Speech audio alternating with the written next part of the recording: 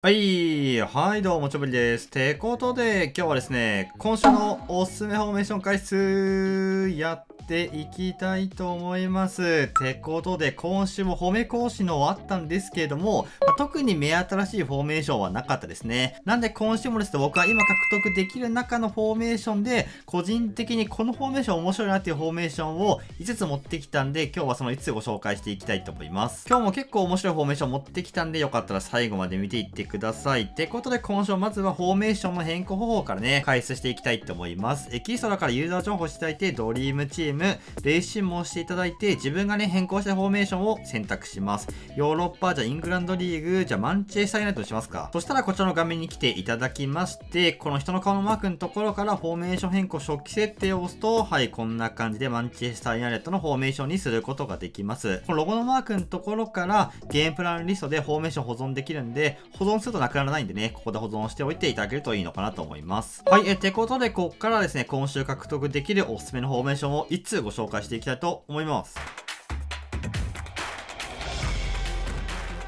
はい、え、てことで一つ目はこちら、水戸ホーリーホックから343のフォーメーションですね、ご紹介していきたいと思います。こちらのフォーメーションが、アジア、オセアニア J2 リーグ、水戸ホーリーホックからね、獲得することができるんですけれども、いや、このフォーメーションね、かなり人気で強いフォーメーションですよね。実は僕ね、この間、世界ランク1桁の方とね、フレマさせてもらったんですけれども、後からね、それも動画にしていくと思うんですけれども、その方もこのフォーメーション使っていて、マジでめちゃくちゃ強かったんで、まあ、後からね、解説を出していこうと思うんですけれども、このフォーメーション個人的にはめっちゃいいと思います。あと余談なんですけど、実は僕、水戸ホーリーホックの e スポーツ選手として活動してるの皆さん知ってました？実は僕ね、一応ミトホーリーホック所属の選手なんですよね。ホームページとか見ていただければ多分僕載ってると思うんですけども、僕はね、茨城の水戸出身っていうかね、水戸に住んでるんで、ミトホーリーホックにはね、愛着もありますし、選手としても活動してますということで、まあ、余談が過ぎましたけれども、まあ、この343のフォーメーション、先ほども話した通り、世界ランク1桁の方も使っているぐらい、まあ、かなり強いフォーメーションになってますね。まあ、今までも1、2回かなご紹介したことあったんですけれども、やっぱり特徴的なのは、このサイドハーフに対してこのウイングもいるということで、まあ、サイドからの攻撃がまあめちゃくちゃ活性化されますよって話ですね。まあ、一応こう役割からね、ST にもできるんですけれども、こ好みかなと思います。まあ、世界トップの方とかはね、こう ST とかで使ったりしてましたね。ポジション適正にその選手のね、合わせて使ってあげるといいのかなと思います。ただまあ、ウイングできない選手はね、ST にしてあげたりとか、逆にね、ST できない選手をウイングで使ってあげたりとか、まあ、そこら辺はね、臨機応変に対応していただけるといいのかなと思います。でも結構ね、これに似たフォーメーションで、この中盤はこうね、縦1列になってるフォーメーションあるんですけれども、まあ、それよりも守備はかなり安定してますよね。まあ、3バックってことで、まあ、守備若干難しくはあるんですけれども、しっかり2ボランチなんで、まあ、やっぱり1ボランチよりは安定するんじゃないかなと思ってます。で、この2ボランチに関しては、1枚 DMF にしてあげて、まあ、下手したら2枚とももう1枚も DMF にしてあげてもいいかもしんないですね。まあ、基本的には本当にこの前3枚と、まあ、このサイドからね、中心攻めていくっていう形になると思うんで、まあ、DMF もアンカーじゃなければ上がってきてくれはするんで、まあ、そこは好みかなって思うんですけれども、最低でも1枚はね、しっかり DMF にしてあげた方がいいんじゃないかなと思います。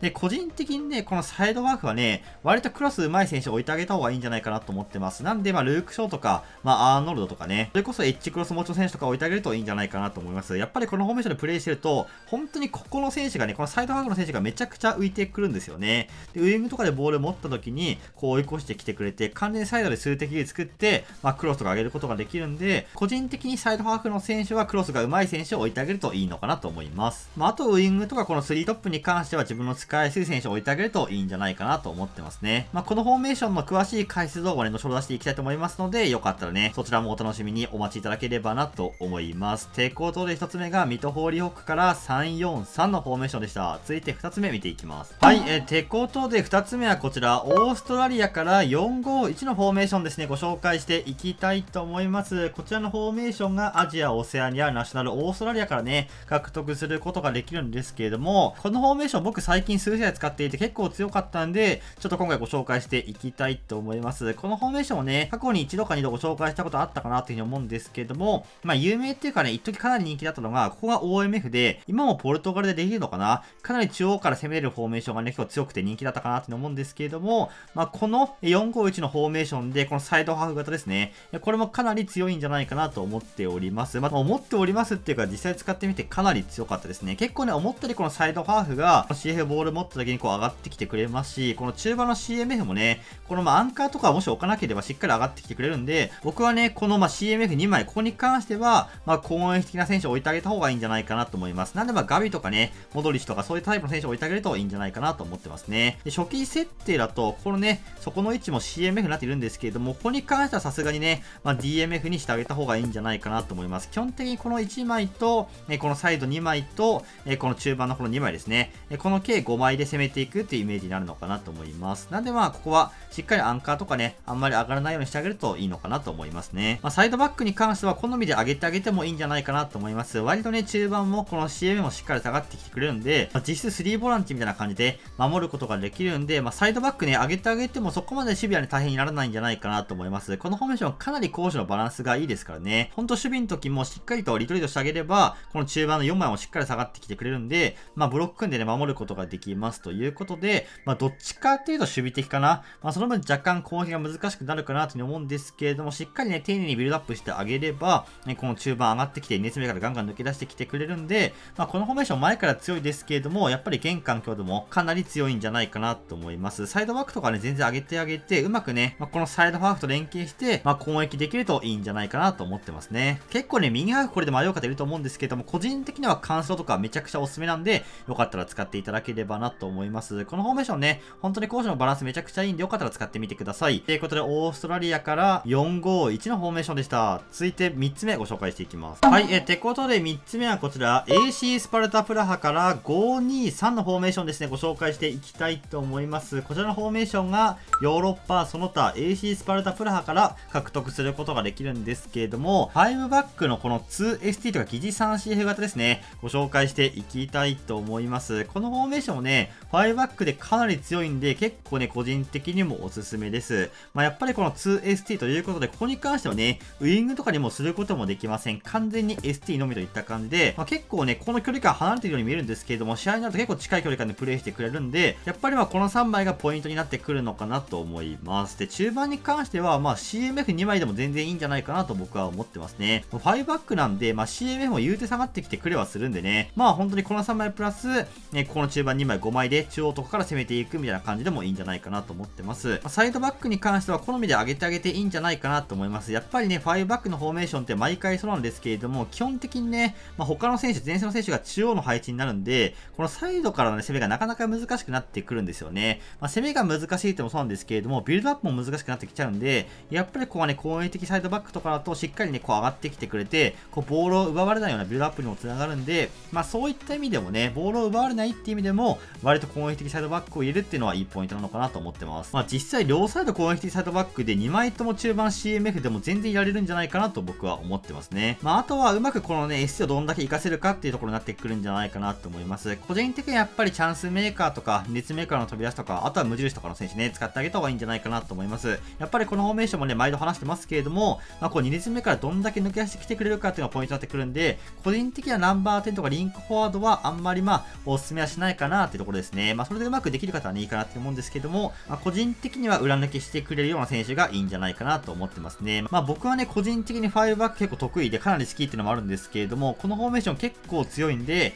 ぜひ皆さんもこのね、スパルタプラハのフォーメーションを使ってみていただければなと思います。ということで3つ目が AC スパルタプラハから523のフォーメーションでした。続いて4つ目見ていきます。はい、えてことで4つ目はこちら、アルジェリアから433のフォーメーションですね、ご紹介していきたいと思います。こちらのフォーメーションがヨーロッパナショナルアルジェリアからね、獲得することができるんですけれども、まあ、結構オーソドックスな433に見えるかなって思うんですけれども、中盤の形もね、横並びとかではなく若干下がっている形になりますね。で、これ皆さんね、これ見て思った方いるんじゃないかなと思います。これって初期設定からできるんじゃねってね、思った方いるかなって思うんですけれども、これ2な方ならわかると思うんですけど、実は若干違うんですよね。まあ、こういったフォーメーション僕探すのめちゃくちゃ好きなんで、細かく見てるんですけども、まず一回433のフォーメーション普通の見ていきたいと思います。これですね。433見ていくと、はい、こんな感じで、どこが変わったか分かりますか？皆さん。もう一回戻していきますよ、これ。こんな感じで見ていくと、はい。どこ変わったか分かりますでしょうか？そうですね。ここの中盤の距離感が若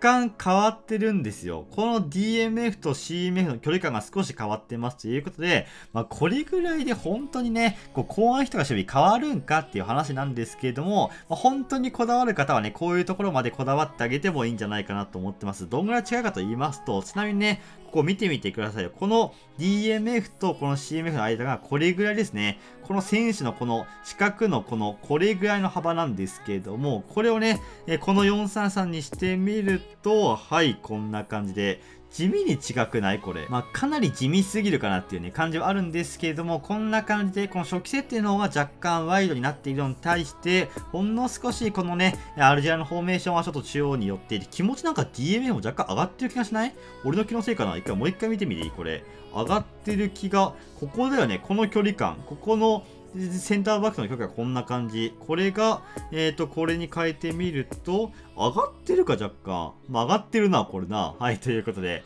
若干この距離感が中央によって、DMF もちょっと上がっておりますということで、真ん中が若干密集になった形ですね。まあ、この形といえばね、結構セパンの形とかが人気かなって思うんですけれども、たまにいますよね。ここの3枚が横並びだったりとか、逆三角形じゃなくて三角形の形だったりとかね、こういろんなフォーメーションあると思うんですけれども、まあ、これね、結構通常のフラットな433使いたい方もいると思うんですよね。まあ、そういった方はね、このアルジェラのフォーメーションね、通常と若干違うんで、まあ、そういったところもね、ちょっとこだわってみていただけると面白いんじゃないかなと思います。まあ、このフォーメーションに関してはね、そこまで本当に開発することないかなっていうふうに思うんですけれども、サイドバックは好みで上げてあげて、中盤に関しては1枚だけしっかり DMF にしてあげて、その他2枚に関してはしっかり上げてあげた方がいいんじゃないかなと思います。ウイングはね、好みでね、セカンドトップとかウイングとかにしてあげるといいんじゃないかなと思ってますね。まあ、このフォーメーションはやっぱりもうオーソドックスにめちゃくちゃ強いフォーメーションなんで、まあ、ここまで細かくこだわる方はぜひね、このアルジェリアのフォーメーション使ってみていただければなと思います。てことで4つ目がアルジェリアから433でした。続いて5つ目見ていきます。はい、えー、てことで5つ目はこちら、マリから4231のフォーメーションですね、ご紹介していきたいと思います。こちらのフォーメーションがアフリカナショナルマリ共和国からね、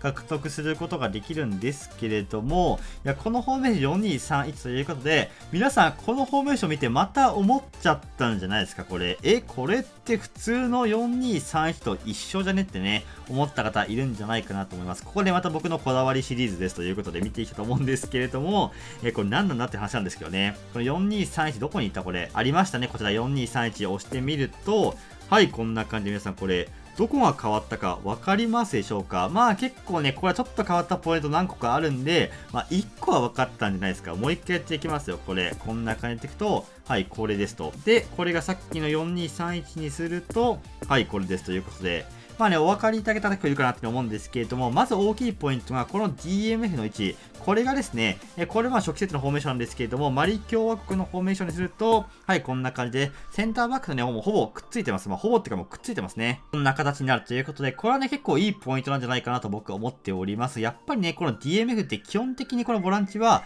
まあ、守備の役割っていうかね、まあ、相手からの縦パスとか、こう、いかにこうやって防げるかところになってくると思うんで、これが高い位置にいればいるほど、まあ、なかなか守備はやっぱり自分で下げて、守備しなくちゃいけないっていう形になってしまうと思うんで、やっぱりこの AI が初期配置でしっかりこのセンターバックのちょっと前にいてくれている、これはめちゃくちゃいいんじゃないかなと思います。しかもね、この2ボランチってことでより守備安定するんじゃないかなと思ってますね。で、もう1個なんですけれども、皆さん気づきましたでしょうか？実はですね、このサイドハーフのこの位置がですね、若干上がってるんですよね。このサイドハーフがですね、ほぼほぼこの OMF と平行になっておりますということで、若干サイドハーフの方が高いのかな。これがですね、この初期配置の4231にすると、はい、こんな感じで若干明らかに下がってますよね。見てください、これ。こんな感じで少し下がっているんですけれども、このマリ共和国のフォーメーションにすると、はい、こんな感じでサイドハーフの位置が上がります。まあ、これはね、結構いいポイントだと思います。なんで、僕はシンプルに、この初期の4231より、このマリの4231の方が強いんじゃないかなと思ってますね。まあ、この DMF に求めるのはディフェンスなんで、しっかりこのセンターバックに近い距離感に行ってくれるのはいいポイントですと。で、サイドバックに求めることは何かって言ったら、やっぱりこの裏抜けして、ここのスペースを活かして攻撃してくれるっていうことなんですよね。まあ、それが少しでも高い位置にいるということで、やっぱりこの初期配置こだわる方は、こういったところまでね、見ていただけるといいんじゃないかなと思います。まあ、ここにいるよりはここにいた方がもちろんいいですからね。ここら辺からこんぐらいまで変わっております。ということで、こういった細かいところもね、まあ気にしていただけるとより e フトボール面白くなってくるんじゃないかなと思います。結構ね、こんな感じで、まあ、ほぼ一緒だろうっていう感じなんですけれども、ちょっと違うフォーメーションとかもあったりとかするんで、まあこんな感じでね、ほぼ一緒だろうと思っても若干違うフォーメーションとかもあったりとかするんで、よかったらこういったところもね、皆さんしっかり細かく見て、フォーメーションを決めていただけると面白くなってくるんじゃないかなと思いますね。はい、ということでラストがマリから4231のフォーメーションでした。はい、えー、ということで今回ですね、今週のおすすめフォーメーションを5つご紹介していったんですけれども、いかがだったでしょうか？まあね、4つ目と5つ目のアルジェリアとマリに関しては、まあ本当に誤差ではあるんですけれども、そういったところも本当に見ていただけると面白くなってくるんじゃないかなと思います。ま前半3つのね、ホーリーホックとオーストラリアと AC スパルタプラのフォーメーションに関してはシンプルにね、強いフォーメーションになってるんで、ぜひ皆さんも使ってみていただければなとと思いますね。はい。ということで、こんな感じで毎週フォーメーション講師の動画を上げてますので、ぜひよろしければコメント、高評価、そしてチャンネル登録もぜひよろしくお願いいたします。それでは皆さんまた次回の動画でお会いしましょう。じゃあねー。